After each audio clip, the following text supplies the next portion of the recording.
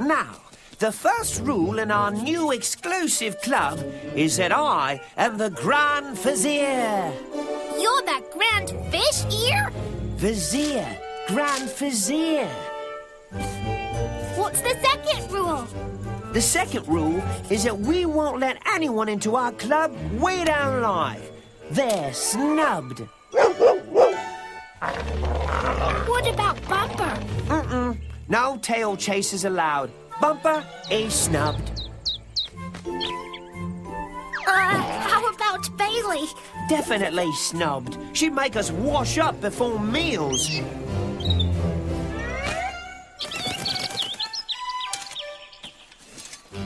How about Theo?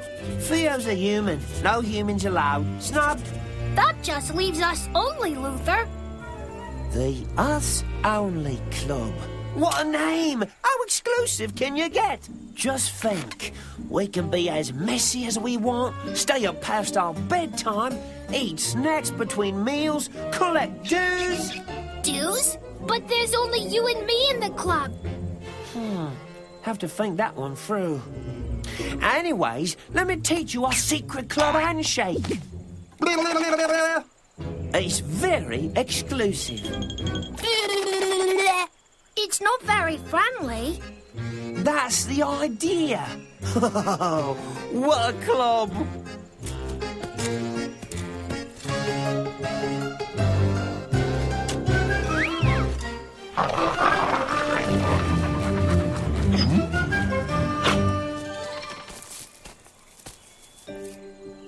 What an interesting hat you have there, Belfry. It's our official Us Only Club hat. You can't have one because you got snubbed. I got snubbed? Oh, dear. Luther snubbed you. He's the Grand Fish Ear. Did he say fish ear? Luther said humans don't have clubs. Oh, but they do. Humans have many sorts of clubs. Is this your club, Theo? No, this is where the church meets.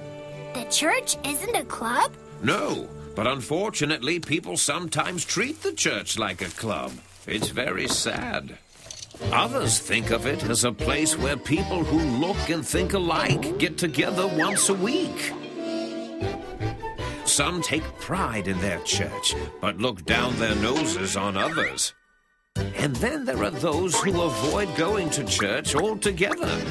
But that isn't what God intended at all. Here is what a healthy church in the first century looked like.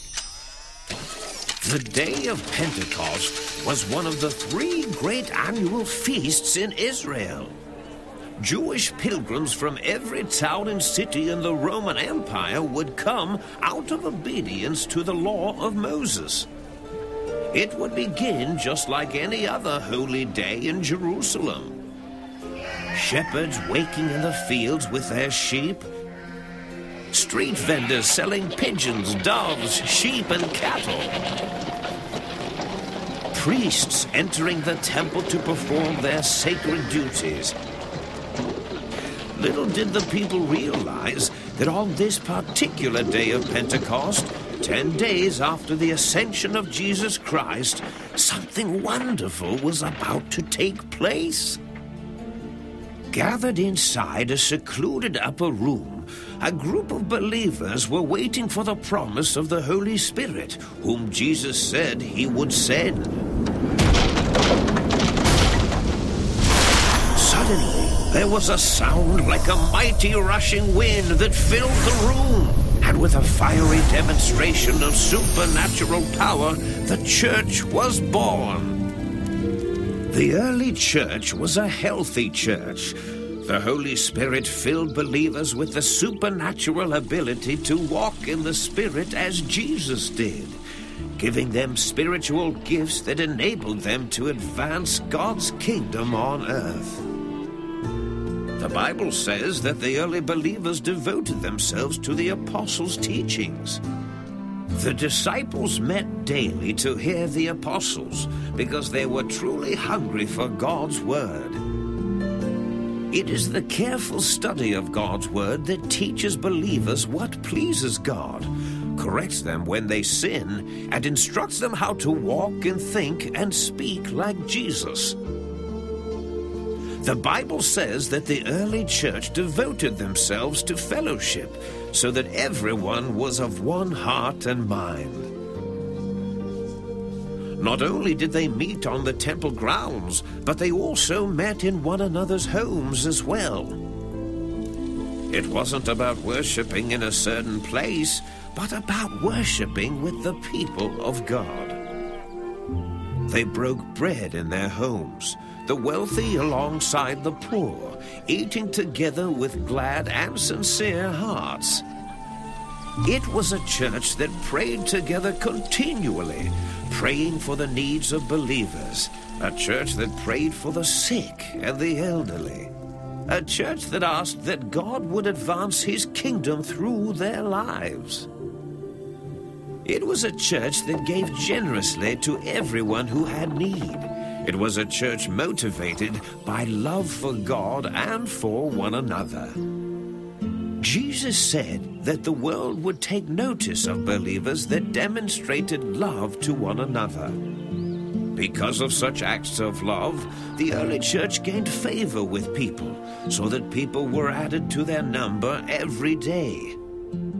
God blesses a healthy church because a healthy church reflects His glory and shows people what Jesus looks like in character as well as in His love for people. The church isn't about fancy buildings or clever programs. Neither is it about a person's race or social status. It's about spirit filled believers called out of the world to follow Jesus and walk in his steps. When people see Jesus in your church, they will give glory to God and come to him. Jesus said that wherever two or more are gathered in his name, there he is in the midst. The church is a gathering of believers who love and worship the Lord in spirit and in truth. Ha! There. Finally finished me list of rules for our Us Only Club. No club member may associate with cats, rats, hedgehogs, badgers, or any other creatures of questionable character. Including bees. Flick.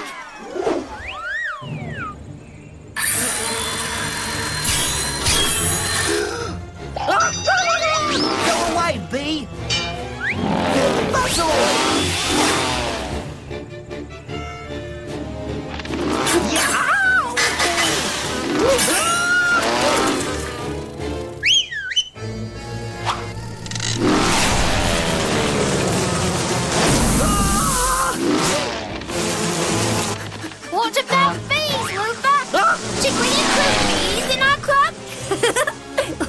the bees are paying their dues.